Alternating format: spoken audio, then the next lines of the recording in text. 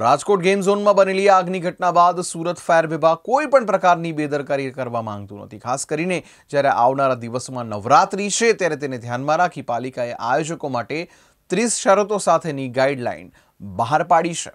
નવરાત્રી પર્વને ધ્યાનમાં રાખી મહાનગરપાલિકા દ્વારા ફાયર સેફટી અંગે કેટલાક નિયમ બહાર પાડવામાં આવ્યા છે. નવરાત્રી આયોજકોને હવે આ ત્રીસ મુદ્દાઓ ખૂબ જ ધ્યાને રાખવાની જરૂર છે.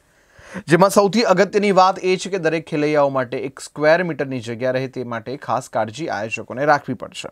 ગભરામણ અને સફોકેશનની સ્થિતિમાં આ ફંડાલોમાં થતી ભીડ ઓછી રહે અને આ સ્થિતિ ન સર્જાય તે માટે પણ ખાસ તકેદારી રાખવા માટે જણાવવામાં આવ્યું છે.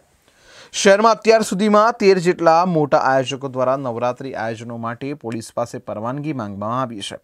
પરંતુ આ વચ્ચે સુરત મહાનગરપાલિકાના ફાયર વિભાગ દ્વારા અનેક નિયમો બહાર પાડવામાં આવ્યા છે. પાર્ટી પ્લોટ ડોમ સહિતના અન્ય જગ્યાએ જો કોઈ પણ આયોજક આયોજન કરવા માંગે છે, તેઓને ફાયર ડિપાર્ટમેન્ટ પાસેથી મંજૂરી લેવી ફરજિયાત રહેશે. ફાયર સેફટીની ગાઈડલાઇન કડક કરવામાં આવી રહી છે. આયોજકોને પ્રતિ દિવસ પંડાલમાં આવનાર લોકોની જાણકારી કાગળ ઉપર રેકોર્ડ તરીકે રાખવી પડશે.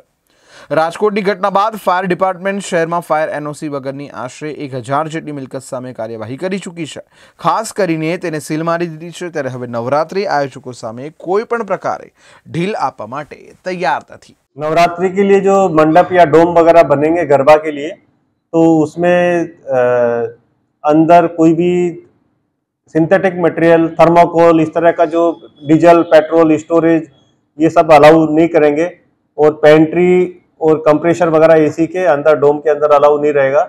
और आजू बाजू में स्कूल है या पेट्रोल पंप है या रेलवे लाइन है, इसमें कम से कम पंद्रह मीटर का गैप होना चाहिए उसके बीच में, जो डोम बना रहे हैं।